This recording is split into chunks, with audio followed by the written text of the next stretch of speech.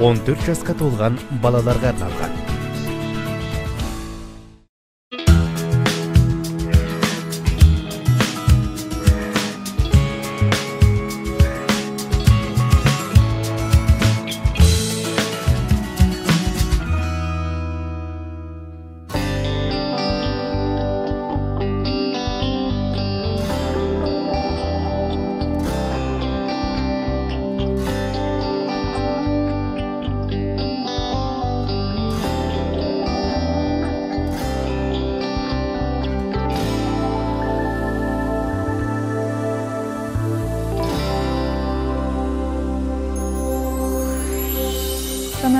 Қош келдіңіз. Бізбен емен жарқын әңгіме айтуға әзірсіз бе? Дайынмын жалпы халық ә, сізді көбіне мынау журналист ретінде қырыңызды көбірек танығанмен ақындық қырыңызды мен ә, ашқым келіп отыр бүгін. Ақындығыңыз жайлы аз кем айтып өтсеңіз. Енді ә, енді ақындық енді шын айтқанда біздің енді әріптес емен жазушылар одағында ұзақ жылдар жұмыс істедім. Негізі ұйымдастыру жұмыстарымен оның алдында да мына журналистика саласындағы негізгі бұл енді менің нәсіп кәсіп тірлігім ғой. Ал Иә. енді бұл ақындық құдай тағаладан берген дүние. Ә, оған да мен кейде атүсті қарап жүрген жағдайларым бар шығар енді оны шын айтқанда. Бүкіл м, жаңағы үлкен жиын тойларда негізгі алдыға сол ақындығы ә, ақындығымды басқаны насихаттаудан гөрі журналистік бағытта сол бағытта кетіп жүрген жағдайларым көп.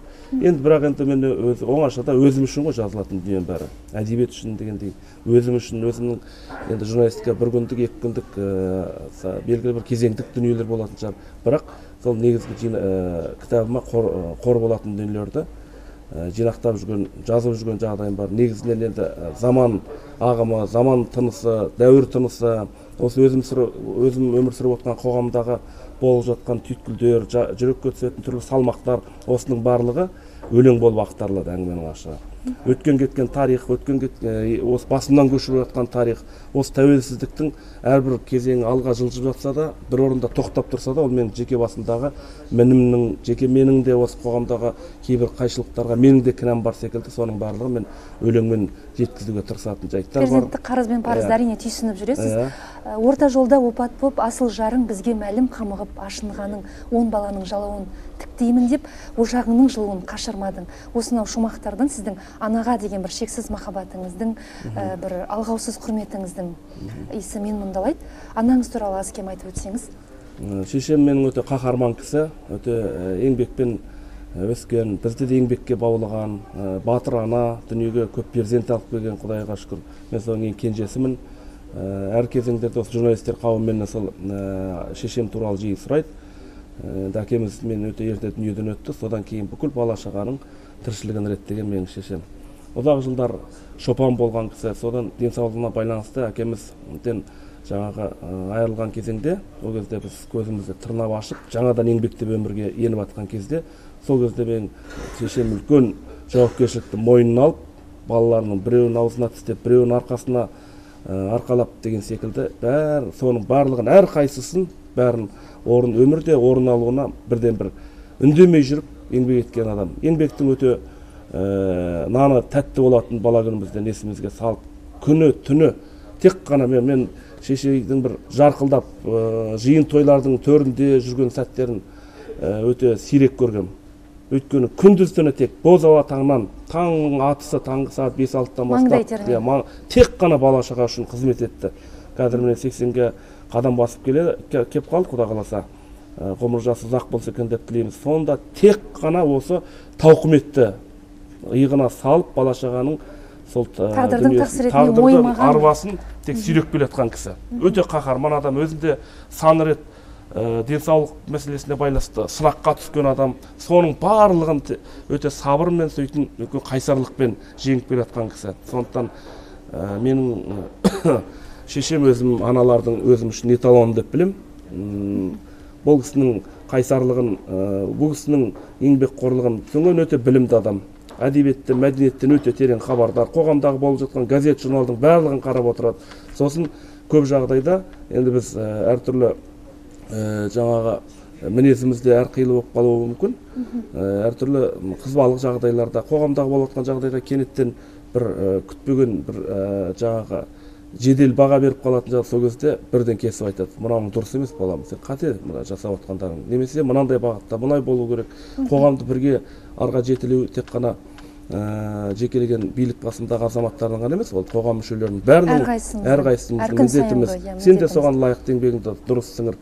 Елдің ішін алалама бөлелеме бірақ ешқашан өтірік айтпа. Табаныңның бірі болсын. Айтқан сөзіңде тұр кері шегінуші болма.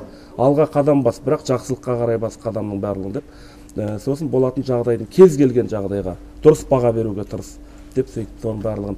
Ә, бүкіл жаңағы білім парасаты пайымы енді біздің мәдениет әдебиет саласындағы жүрген кісілердің көбі біледі үйге меймандыққа келген кезде көп пікірлеседі сол кезде қайран қалады. Өте шешен адам өте тіліп сөйлейтін енді өзі ол кісінің тағдырдың тақсіретін тартқан кісі қазір құдайға шүкір өткен дүниенің барлығын жеңіп үлкен қаһарман кейпінде отырған анамыз. Сол кездегі аналардың пейілінің өзі Қайсарлығы, қайсарлығы пейілі ерлікпен пара пар ғой. Енді анаңыз туралы айтып отқанда мынау ана анаңыздай қымбат ана тілі. Газеті дейміз енді анадан кейін біздің анамыздың тілі қаншалықты қымбат болса сол сіз басқаратын газеттің тыныс тіршілігі бүгінгі таңда.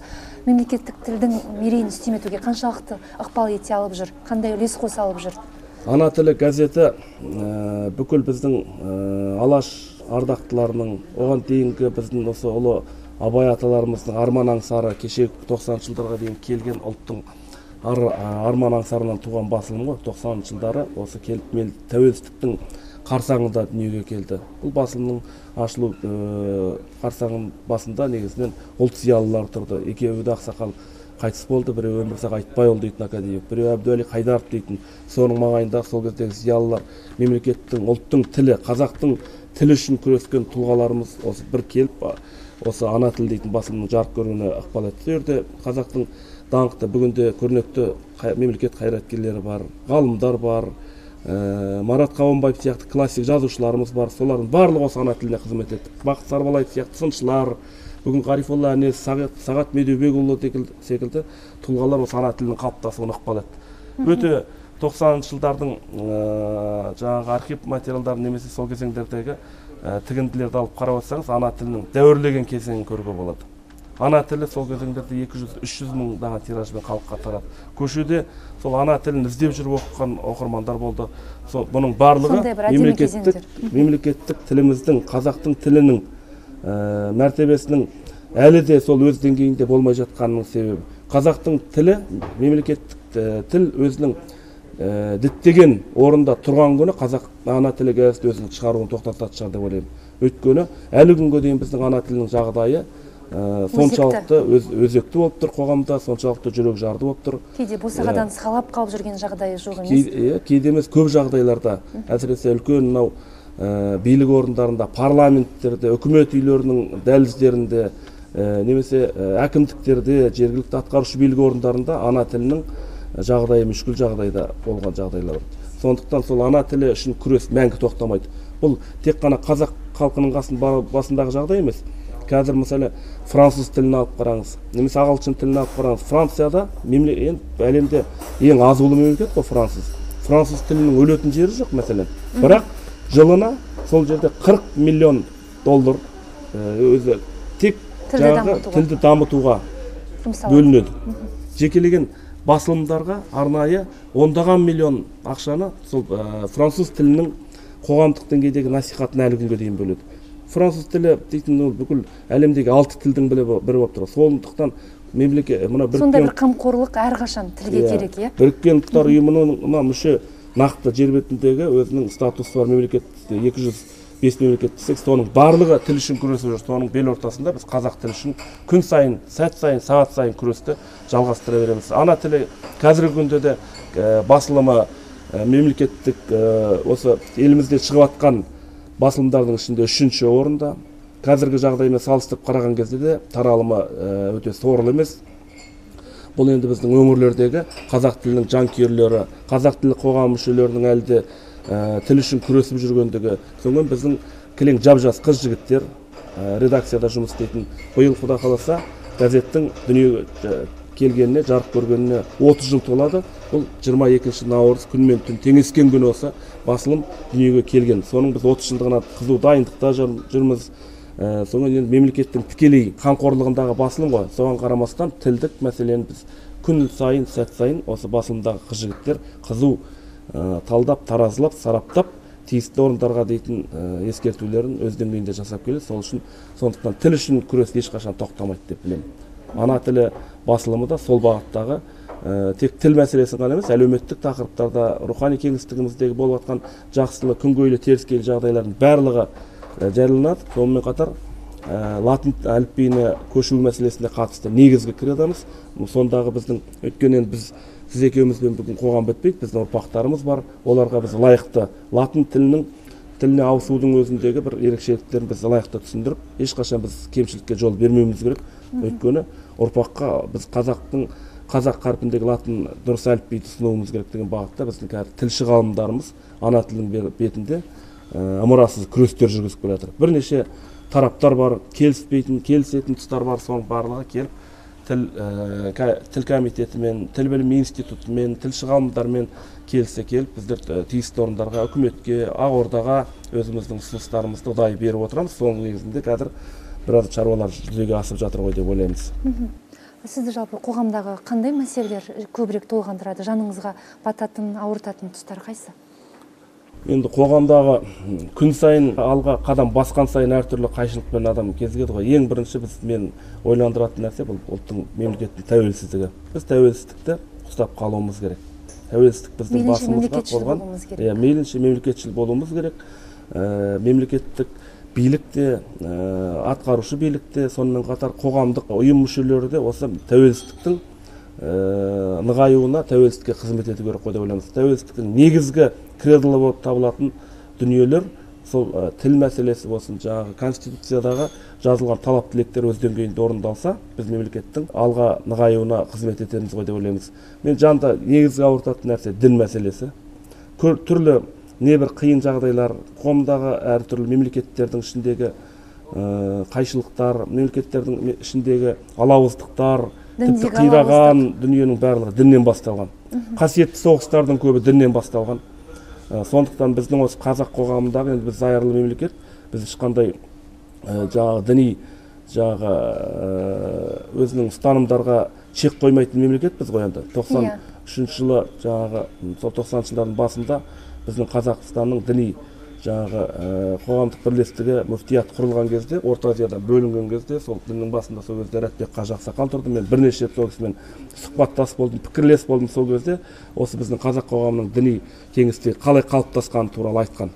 Сол кезеңдерде біздің мына дәстүрлі өзіміздің исламнан бөлек есік тереземізден андағайлап небір жаңағы діни уағызшылар кірді. Өзі исламның ішінде мың сан кетіп қалды. Оның сыртында бөлек христианның уағызшылар келді дегендей католиктер келді бар олардың өзінің миссиялары бар. Оның бөлек мына исламның өз ішімізде бірнеше тармаққа бөлініп кеткен. Қазіргі күні соның біз зардабын тартып отырмыз.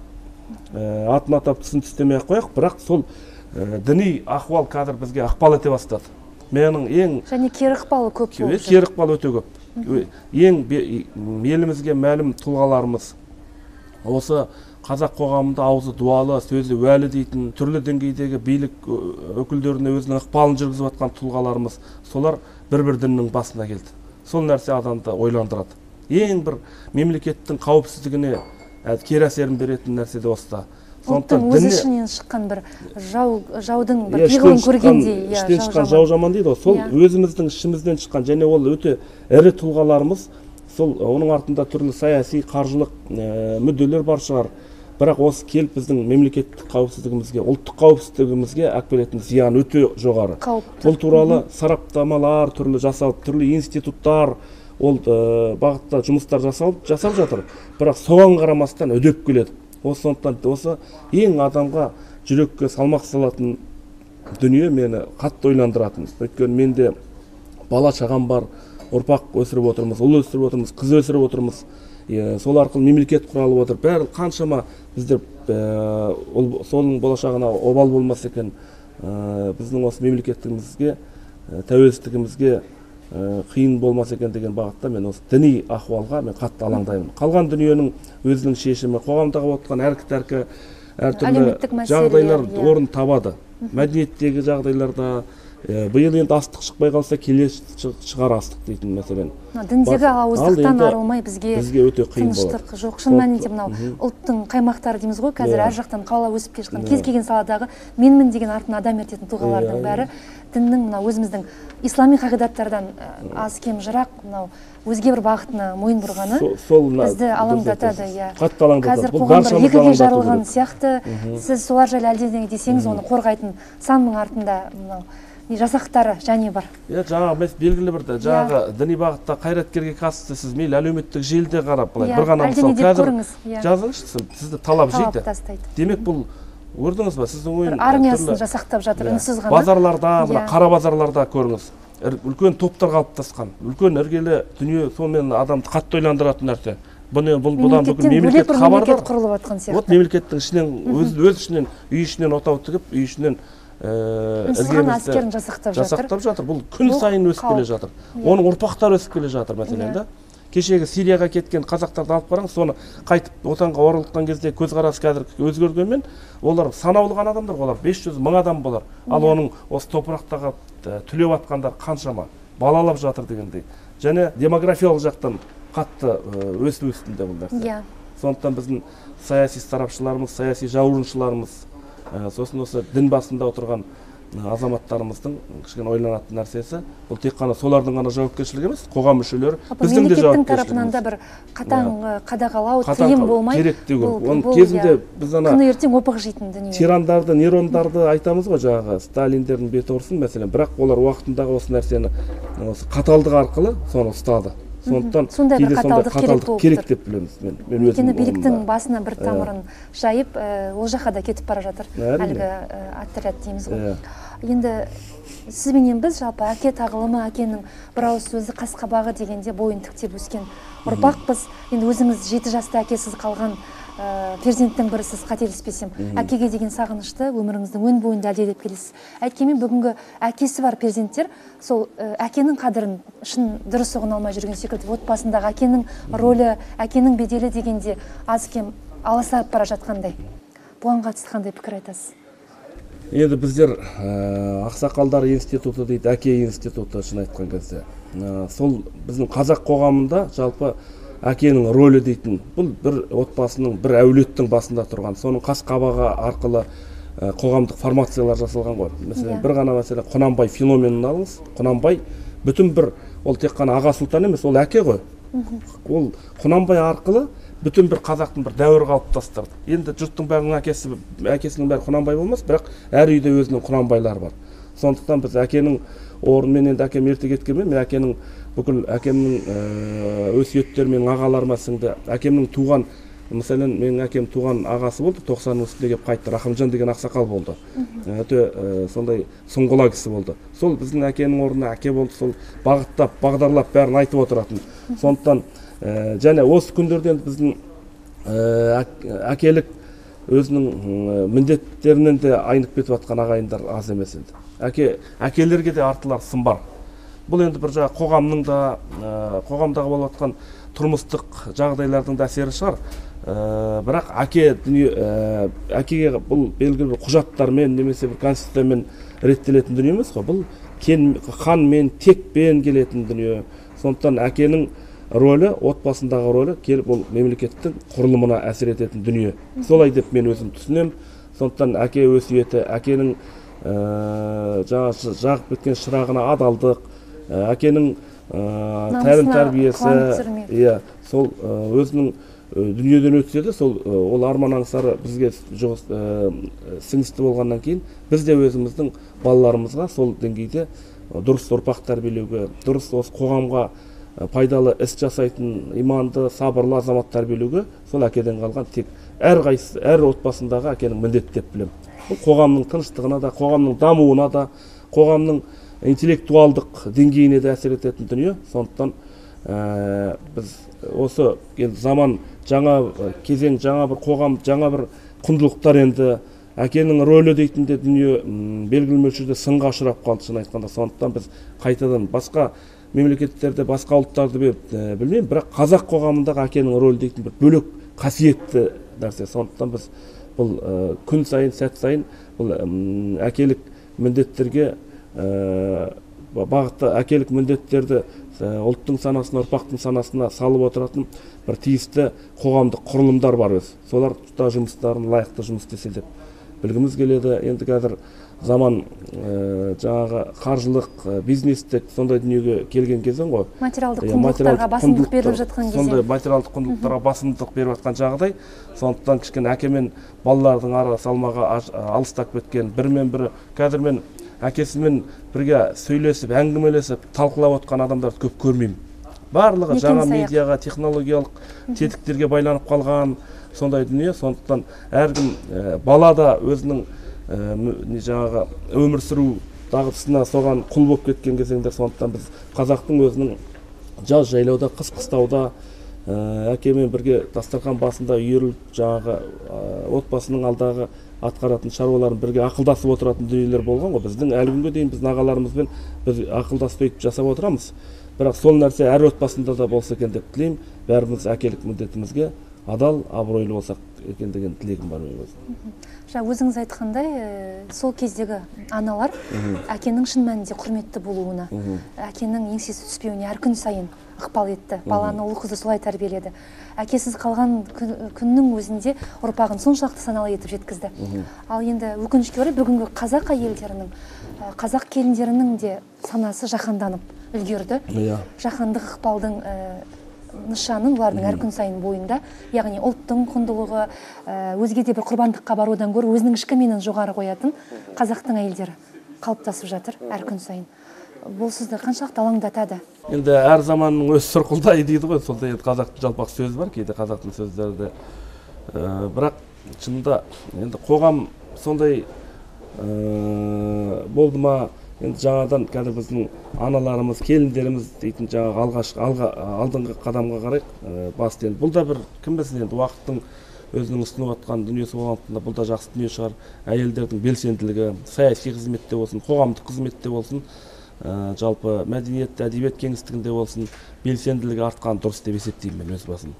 Бірақ оның барлығы бірдей жаңағы ұлттың дамуына қарай ә, сол ұлттың жаңағы ұлт болып қалыптасуына өзінің ұрпағының да сол ұлтқа қызмет етуіне қарай ә, белсенді болса ол жақсы әрине. Ал енді бізде қазір әлеуметтік желілерде жаңағы ә, бір бір тайпаның ә, жаңағы көсемі секілді біздің замандастарымыз бар ғой енді әңгіменің ашығы. Иә. Ә, олардың бағыт бағдарының енді мен әйелдер ісіне кірісіп кетіп баға бере алмаймын бірақ өзім жеке ойымда көптеген күмәнді сауалдар бар. Ә, өнерде сахнада жүрген замандастарымыздың ә, жаңағы әртүрлі дүниелерге насихаттауды дегендей жаңағы сол бағытта кішкене бұл одан да сен келіп айтатын ойың болса мен халықтың ішіне депутатқа түсіп парламентке барып парламенттің төрінде айт дегім келеді ондай дүниені. Елдің ішіне іріткі салмауға қайта ұйыстыруға біріктіруге қарай үндесем деген тілектерді айтқым келеді. Ал енді аналарымыздың жаңағы әйел адамдардың белсенділігінің дұрыс деп дұрыс деп есептеймін белсенді болған қоғамда. Өйткені Дұрыс бағытта белсенді дұрыс бағытта белсенді болғанын қалаймын.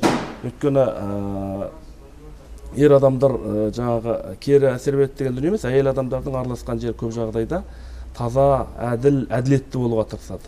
Шынайы жанашыр. иә жанашырлық бағытта енді бізді ұлт, ұлттық ә, дүниелер жасаған тарихта аналарымыз көп қой құдайға шүкір жетеді.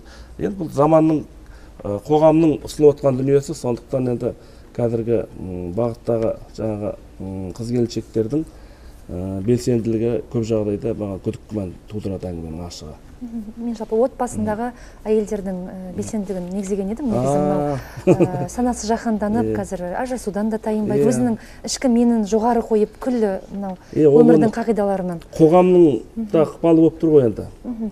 Бұның барлығы кітаптан алыстау сосын бала тәрбиесіндегі болып жатқан ала құлалықтар соңғы мынау бүкіл өмірімізге деңдеп енген жаңа технологиялардың жаңа медианың әсері күнделікті осы қо- телефоннан арылмай ә, әлеуметтік желіде жатқан жағдайлар да біздің үйде үй жағдайында отбасы жағдайында отырған әйелдердің де санасына әсер етіп жатқан жағдай бар. Сондықтан маңайымен бақталас болып ә, ана елден мына елден озып кеткісі келіп жаңағы сөйтіп барып отбасындағы бірде жетеді бірде жетпейді. иә? Иә сол жетіспеушіліктің аяғы келіп а, ажырасуларға алып келеді бала шағаның далада қалуына алып келеді. Сондықтан ондай белсенділіктен гөрі мен отбасында өзінің бала шағасын бағып қағып ә, бір жетер бір жетпес. Енді біздің шын айтқанда үлкен кісілеріміздің тәжірибесі жетеді ғой бізде. Қандай қиындықтарда жүріп мен құдайға шүкір оған қарағанда қазір ә, әлдеқайда кішкене көшілгер деуге болады сондықтан кейде тәубашылдық ә, жетпейді ғой деп ойлаймын мен. Жалпы әдебиетті ардың ісі деп жатамыз. Ол адалдық пен биіктікті талап етеді. Алайда кейде сол алатаудай асқақ көрген ағалардың аласарып қалатын сәттері жоқ емес. Кейде мынау тұтас әдебиеттің ұлттың жанашыры болғаннан гөрі өз ауылының өз руының мүддесін көбірек қозғайтын да тұлғалар аз емес. Бұл тұрғыдан келгенде осы әдебиетке деген адалдық мынау бүгінгі әдебиетте жүрген жастарға деген шынайы жанашырлық қамқорлық пиғыл кейде бір жетіспей жатады. Сіз бұл тұрғыда өзіңіз іштей қалай ой түйіп жүресіз? әдебиет ардың ісі деп енді академик қабдолов айтып кеткен кезеңнен бері неше рет су ағып неше рет тас аунап кетті дегендей. Иә.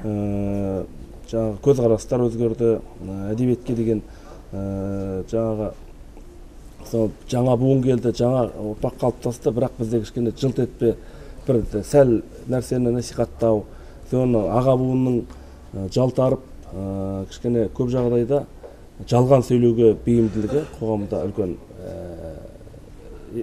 біліне бастады сол. Бұның барлығы жаңа қалыптасып келе жатқан шығармашылық жастарға да әсері бар. Жалған мақтау жалған әдеби сында жаңағы екі үш өлеңге қарап соған өте жоғары классикалық деңгейге шығарып мақтау дәріптеу нәрсе адамды жақсылыққа апармайды. Біз өп үлкен кәдімгі елдің алдында жүрген айтулы ақындарымыз қаламгерлеріміз кейбір мүдделер үшін жеке бастың мүддесі жеке бастың мүддесі үшін немесе рулық тайпалық мүдделер үшін деңгейдегі мүдделер. сол жап жас жаңадан бір көзін тырнап ашып келген адамды классиктің деңгейіне алып баратын осындай жағдайлар бар. Бұл тек қана әдебиетте ғана емес өнерде де мынау сахналық өнерде болсын театр өнерінде де болсын мынау шоу бизнесте болсын эстрадада болсын сол біздің ағалардың кішкене асыра мақтап асыра жел жел беріп жаңағы сөйтіп келіп ал уақыт өткен кезде жаңағы өзінің үміткерден ә, сенім артқан азаматтан сол деңгейден көрінбей жатқан жағдайлар бар бізде. Сондықтан бұның барлығы ә, теле ә, экрандардағы радио арналардағы болып жатқан көркемдік кеңестердің жойылуы кітап шығару саласындағы ә, жаңағы кешегі талқылардың жойылуы содан олардың барлығына ә, тиісті деңгейде мемлекеттік тарапынан бақылаудың жасалмауы ғой деп білемін. Сондықтан біз әсіресе шығармашылық жастарына асатпай жатып құлдық деме дейді қазақ сондықтан асыра мақтап асыра дәріптеп топ құрып ә, жаңағы сол өзінің маңайын жастармен ә, жаңағы қоршап солар арқылы сол бір қағанат құрып сол қағанат арқылы өзінің жасы саясатын немесе рухани руханият саласындағы саясатын жүргіземін дейтін нәрсенің уақыты. Ол өте қиын жағдайға алып келеді. Сондықтан біздің аға буын кішкене ауыздан шығатын әр сөзіне әр бағасына ә, абай болса екен дегім келеді жалған айтпас екен ә, жалпылдатпас екен деген дегенді айтқым келеді мен өзім. Жалпы өзіңіз өзі қолына қалам ұстап, ұстап жүрген жастардың қарым қабілетіне бүгінгі өлеңдегі ізденісіне қандай қаншалықты көңіліңіз толады? Қазір талантты жігіттер бар ғой. Өте жақсы өте талантты жігіттер ә, шықты. Кейінгі жас буында проза саласында поэзия саласында драматургия кенжелеп қалған драматургия саласында да қазір біртін біртін осы салаға қан жүгіртіп соның тамырына қан жүгіртіп жатқан жас жігіттер пайда болды. Енді әртүрлі өз біздің қазақтың өз қанға сіңді қасиеті қара өлең ә, сипатындағы дүниеге айналып келеді бәрі. Бірақ енді ортада батыс бар шығыс бар ә, түрлі әдебиеттердің ықпалы бар сонымен адасып кетіп жүретін де ә, азаматтар жоқ емес. Бәлкім ол енді тәжірибе үшін деп жасап жатқан шығар. Оны уақыт керек. Соны қайтадан күндердің күні келіп біздің әдебиетте олжа салуға тиісті азаматтар бар. Атын атап түсін түстемей ақ қояйын. Қазір енді әдеби басылымдарда журналдарда содан енді әлеуметтік желілердегі шығармалары ә, әжептәуір көз қуантатын әлемдік әдебиет деп біздер айтамыз әлемдік әдебиет емес өзіміздің қазақ әдебиетінің көсегесін көгертіп алсақ осы күндерде соның өзі үлкен олжа. Аударма мәселесінде болсын басқа салада болсын біздің лайықты қыз жігіттер бар өте талантты қыз жігіттер бар. Тек қана алматы мен астанада емес өңірлерде қандай жақсы еңбекқор азаматтар бар. Өзінің салалық кәсібінен бөлек әдебиетті лайықты деңгейде сол өзінің ары ожданы үшін әдебиетке шынайы беріліп осы ұлттық әдебиеттің келешегі үшін ә, көшеде жүріп әдебиет жасап жатқан қыз жігіттер бар. Ә, әлеуметтік жағдай соншалықты төмен болса да бірақ өлеңге деген адалдығы бар. Сол кішкене сол нәрсе адамды қызықтырады. М, бірақ бәрі бірдей кереметтей деңгейде деп айта алмайсыз. Жаңағы көркемдік сапасы сын көтермейтін ә, дүниелер жетеді. Оның барлығын енді бірте бірте електен өтіп келіп уақыт өз бәрін өз орнына қояды уақыт әділетті Иә, уақыт сарапшы дейсіз ғой уақыт әділетті уақыт сарапшы. Өзіңіз де толқын қалам ұстап жүрген еліміздегі ә, қайсар қаламгер қыздардың бірісіз. Ә, осы мына күні түні микрофонды ұстап жүріп бұл енді біздің сіздің журналистік қызметіңіз. Одан бөлек шығармашылық қызметтің сіз бірдей жауапкершілігін көтеріп жүрген бір өзіміздің аяғы қарындас ретінде сезінеміз. Сол секілді сіз секілді осы біздің өңірлерде қаншама адал таза пейілді мейірімді әріптестеріміз бар. Біз солардың мен замандастарымнан көп үміт- күтемін. Солармен бірге алғашқы алдағы кезеңдерде бірге шығармашылық белестерде бірге ә, көрінсек деген ниеттемін. Ой осы жанарбек мырза бүгін біздің төрімізден табылып емен жарқын сұхбат бергеніңізге алғыс айтамыз. Сізбенен біз сүйетін ұлттың қашанда мерейі үстем жүзі жарқын болсын. Ә, туған тіліміздің көсегесі көгере берсін деген тілекпен. Сізге тек жақсылық тілейміз аман жүріңіз. Рахмет сіздерге де. Мына қасиетті сыр бойы кезінде біз осы мен э, ең алғаш жасыл газетіне жұмыс бастадым ғой сол кезеңдерде одан кейін жас қазақта болсын түрлі ақпарат құралдарында жұмыс істеп жүрген кезде ең көп басылымды оқитын қоғамға деген сергектігі жағынан хаттарды көп келетін осы сыр бойы болатын. Мен э, сол ең алғаш осы топыраққа екі мыңыншы жылы сол э, алғаш тілші ретінде табанып тиген. Содан мен ай сайын апта сайын осы сыр бойына өте жиі келемін. Қасиетті біздің қазақылықтың қаймағын қазақылықтың болмысын ұстап тұрған біздің үлкен қасиетті өлке. Сондықтан сыр бойы жұртына да э, құдай тағаланың көзі түзу болсын дейміз.